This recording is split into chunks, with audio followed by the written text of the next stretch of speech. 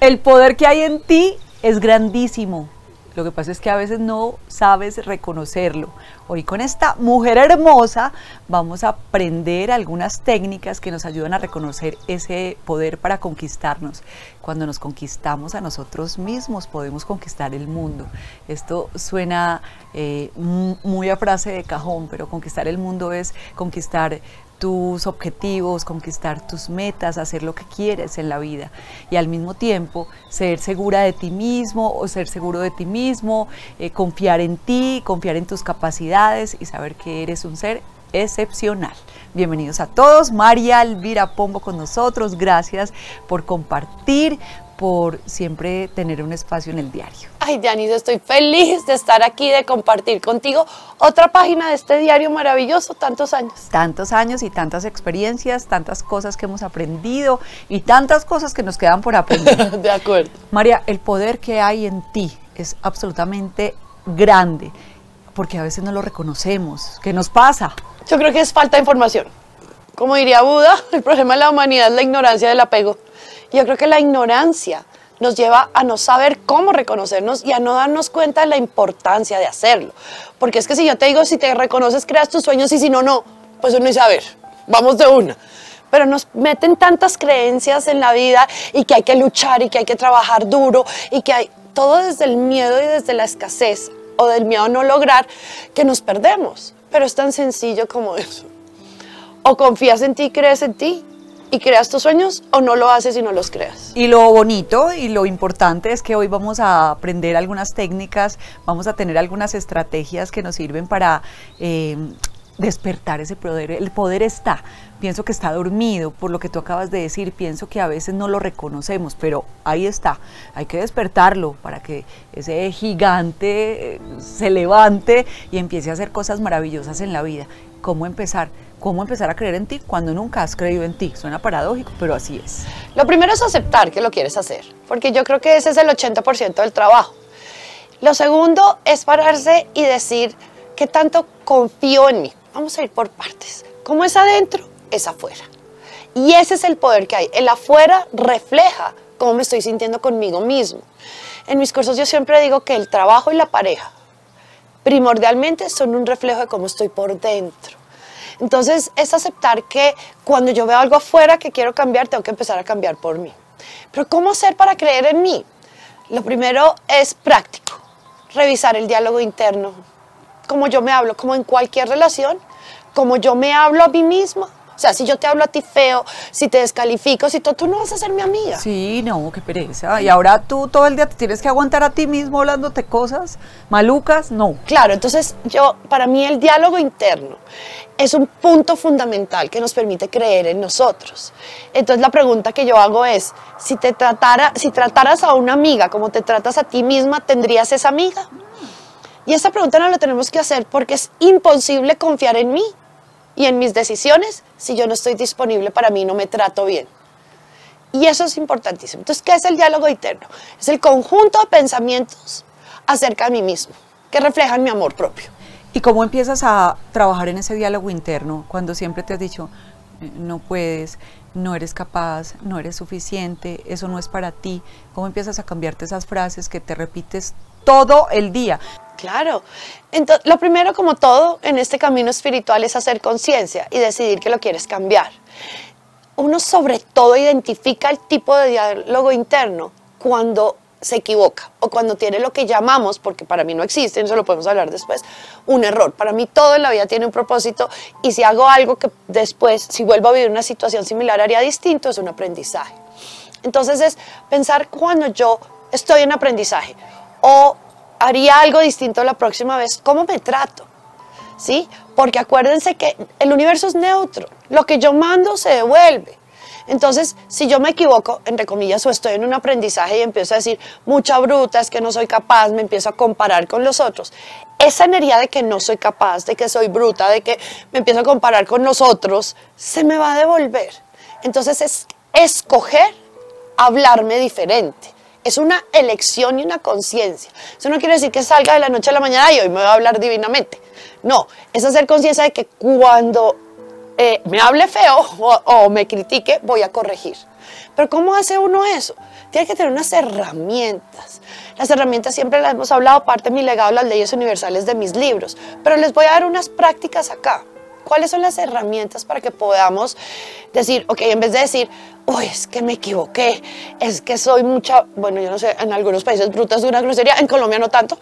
Entonces, decir, es que me equivoqué, es parar y decir, no, eso no me sirve. Eso me baja la vibración.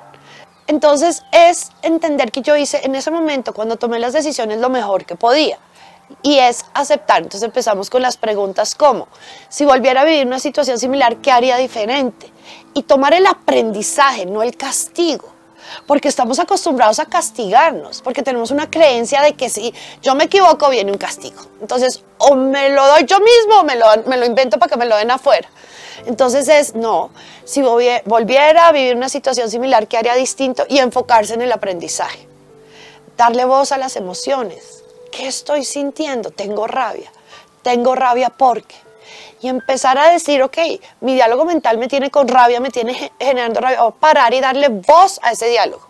Entonces, el primero es hacer aprendizajes en vez de cometer errores. Y el segundo es darle voz a la emoción que me está generando ese pensamiento. Tengo rabia porque, y completar, y empezar a escribir, y lo hemos dicho varias veces. La emoción, cuando nos deja su mensaje, se disuelve y empezamos a aprender. Y es que lo bonito, María, eh, eso hemos aprendido, que la emoción nos deja un mensaje. Cuando te sientes eh, en un estado displacentero y, sientes rabia o sientes ira o sientes eh, celos o qué sé yo, es un mensaje de qué es lo que tienes que trabajar contigo mismo. ¿Cómo identificas ese mensaje? ¿Cómo empiezas a trabajar en, en sacarle provecho a la emoción que no te hizo sentir tan bien? Sí, eso me encanta porque retomamos un tema que hemos repetido tantas veces, pero no me cansaré nunca de hacerlo. Todas las emociones son importantes. Y es importante, valga la redundancia, permitirnos sentir, porque es que toda nuestra misión y nuestro propósito, perdón, está en nuestro corazón y el corazón habla con emociones. Cuando yo siento eh, gratitud, alegría, entusiasmo por una persona, una situación, es la forma como recibo la guía de mi corazón de que estoy en el lugar donde debo estar. Cuando siento rabia, angustia, ansiedad o celos, es la forma como recibo el mensaje de que hay algo que cambiar o una en mí o una decisión que tomar. Entonces tenemos que dejar de juzgar las emociones como buenas o malas, es lo que hacemos con ellas, lo que define nuestro estado de conciencia.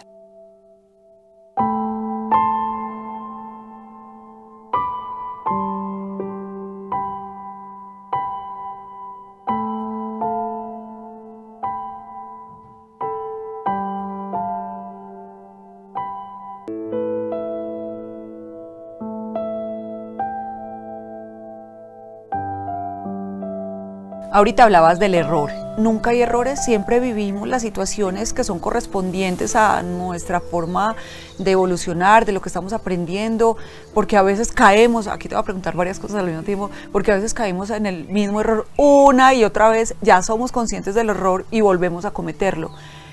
Entonces, sí hacemos lo que nos corresponde hacer. Eh, la respuesta general a eso es, la vida es el resultado de nuestras decisiones y tenemos libre albedrío. Entonces, esa es la base. Entonces, si yo sigo tomando las mismas decisiones, pues tendré las mismas situaciones y eso lo hemos oído en todos lados. La segunda parte y un poco más profunda, la respuesta a lo que me estás preguntando, es hasta que yo no aprendo, o sea, hago el cambio interno, la vida me quiere tanto y el universo me quiere tanto y mi yo superior y mi plan divino es tan espectacular que me vuelve a traer la misma situación para que yo cambie las veces que lo necesites. Por eso no existen situaciones buenas o malas, volvemos a las emociones. Es lo que yo hago con la situación.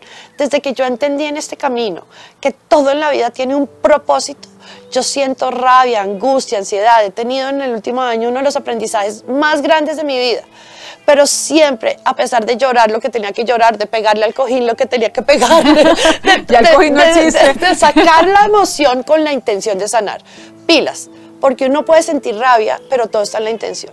Si yo siento rabia, con la intención de sanarla, de sacarla, de encontrar su mensaje, pero puedo sentir rabia y culpar a otros o volverme víctima, en ese momento la intención de víctima o la intención de culpa se me devuelve. Entonces yo ¿Cómo hacemos para manejar esos estados?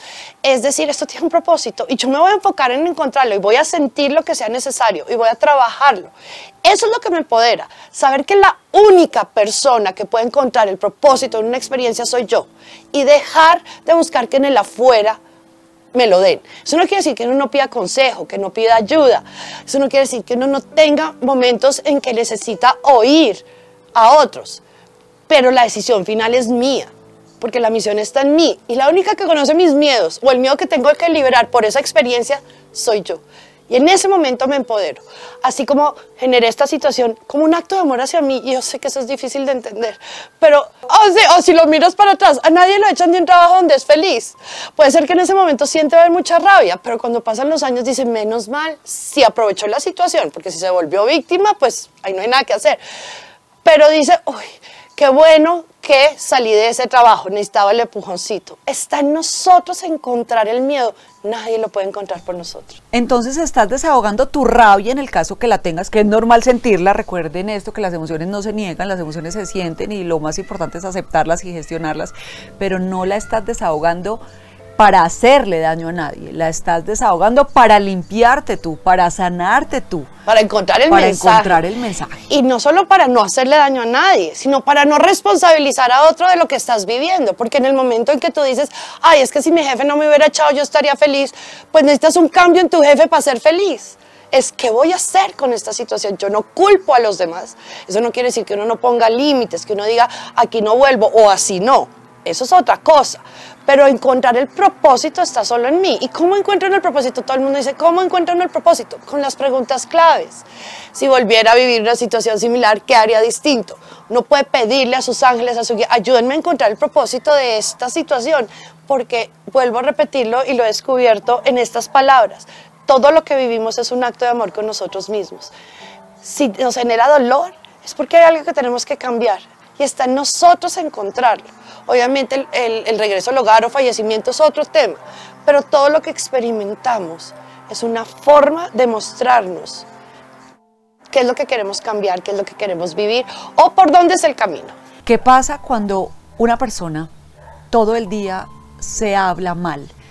Tú no sirves, yo soy un fiasco. Todo el día eh, se dirige a sí misma y tiene pensamientos de palabras maltratadoras y que no te hacen sentir bien lo que pasa es que baja la vibración. ¿Qué es, ¿Qué es la vibración para mí? La vibración es cómo te sientes, qué energía estás emitiendo. Pero además, tú puedes tener una vibración más elevada o más bajita, eso no es ni bueno ni malo. Para mí una vibración elevada es más amor y menos miedo, más diversión y menos miedo. Entre menos miedos tengas, más elevada tu vibración. Cómo funciona el poder creador, que fue donde arrancamos en esto, es que lo que yo emito, mi vibración, es lo que atraigo. Y es súper importante hacer conciencia de lo que estoy emitiendo de mi vibración, porque es que no hay otra forma de manejarlo. ¿Es así o no es así? Entonces, volvemos a la intención. Yo puedo sentir rabia y no atraer cosas de rabia porque mi intención está en sanar la rabia. Pongámoslo así de sencillo. Entonces, para volver a tu pregunta, como yo atraigo lo, lo, que corresponde, yo atraigo lo que estoy vibrando y yo me hablo feo todo el día, pues me bajo la vibración y lo que voy a traer son circunstancias para dejar de pensar así o, para tener que elegir distinto. O personas que te digan lo mismo, porque las otras personas y lo que escuches afuera es un autoparlante de lo que tú piensas de ti mismo. Y te bajas la vibración. Entonces es otra vez volvemos al tema de si yo me digo mucha bruta, no, estoy aprendiendo.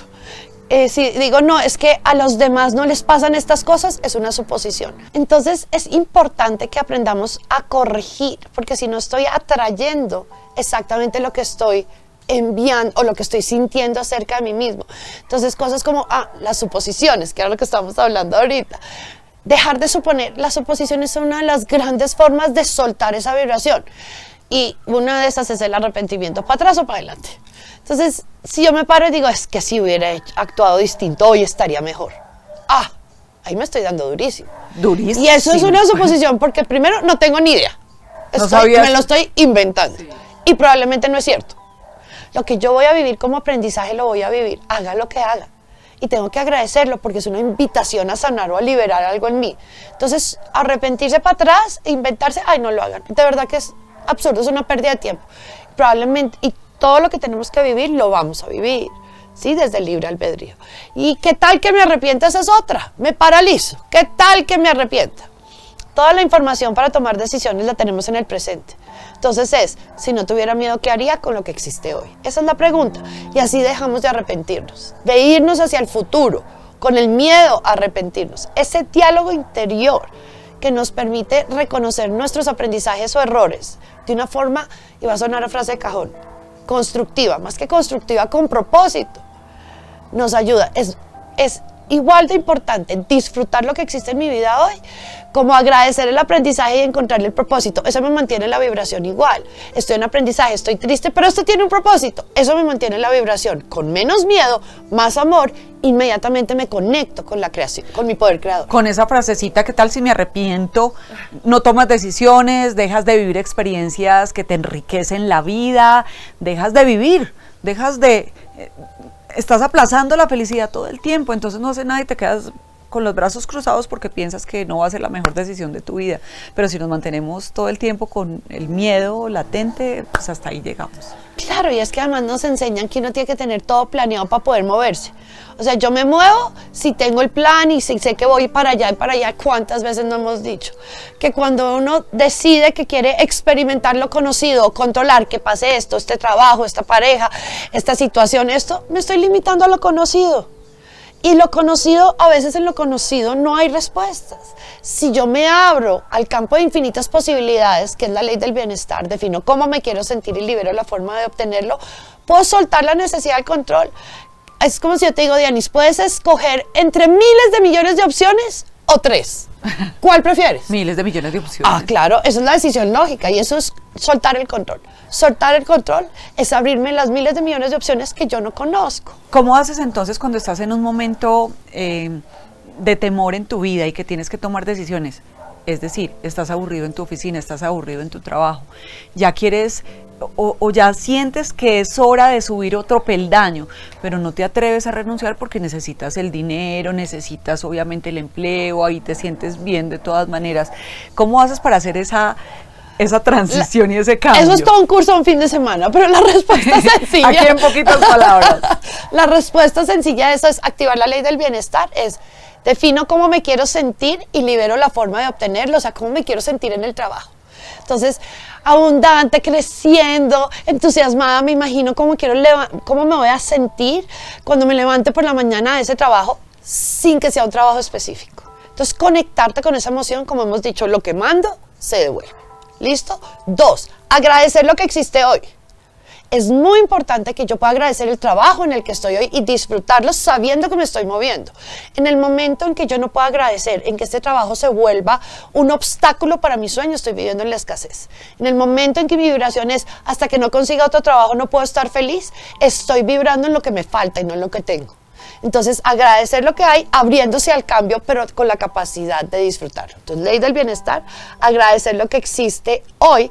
Y cuando me dicen las decisiones, ahí sí yo me encanta meter a los seres de luz y a los ángeles. Yo les digo, ángeles, denme las señales necesarias el día de hoy para recibir su guía con respecto a mi trabajo. Y recibir su guía, no pedirle a los ángeles que le digan qué hacer. Tanta gente que le dice, bueno, me cambio de trabajo, sí o no y después me vienen y me dicen, ay, yo no recibo la señal. a ver, a ver, Es que los ángeles nunca te van a dar una señal para decirte qué hacer porque tú tienes el libre albedrío y no te van a quitar la posibilidad de disfrutar el resultado de tu decisión. Si la decisión no toman los ángeles, el éxito es de los ángeles. Igual que si la decisión no toman los ángeles, el, la culpa es de los ángeles si estoy en aprendizaje. Entonces así no funciona. Entonces es pedir señales y fíjate como dije y lo repetimos otra vez. Las señales necesarias, no una señal. El día de hoy para ponerle tiempo, para recibir su guía con respecto a su guía. Pero desde la intención de que una vez reciba guía, la decisión es mía. Porque como siempre digo en mis terapias, la información está dentro de mí. Los ángeles me ayudan a conectarme con ella, por eso muchas veces los mensajes de los seres de luz se suenan a lo que uno, ah, es que yo ya sabía y no me hice caso. Entonces lo que verdaderamente hacen los ángeles es recordarnos que la información la tengo adentro. Esos serían los tres pasos que yo haría. Ley del bienestar, gratitud por lo que existe para no vibrar en la escasez y pedir señales.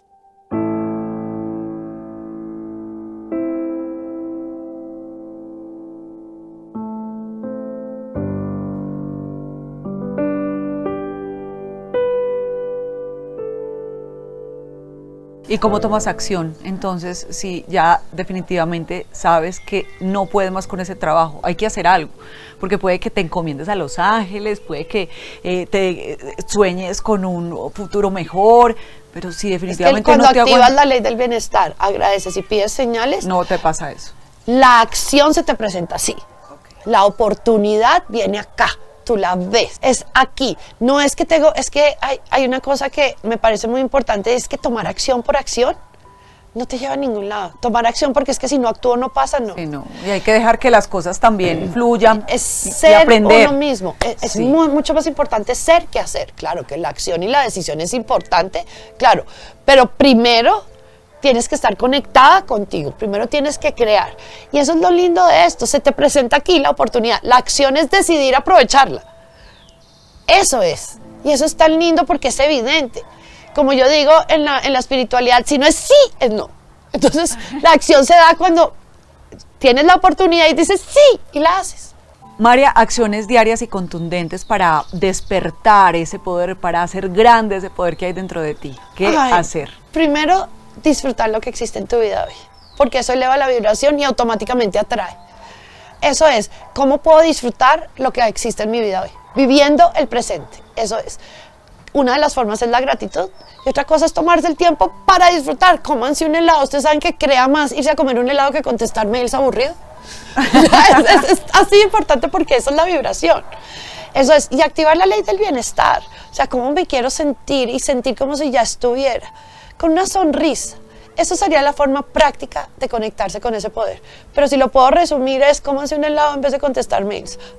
Sí, es que pueden disfrutar el helado y no quieren contestar mails. Hay personas que dicen que definitivamente la meditación no es para ellas. ¿Qué recomendarías en lugar de la meditación? El objetivo de la meditación es calmar la mente de tal forma que tus pensamientos no generen obstáculos en tu vibración. Si mis pensamientos son negativos, la meditación lo que busca es que esos pensamientos no estén para que yo pueda elevar mi vibración, dejar de pensar en lo que le tengo miedo.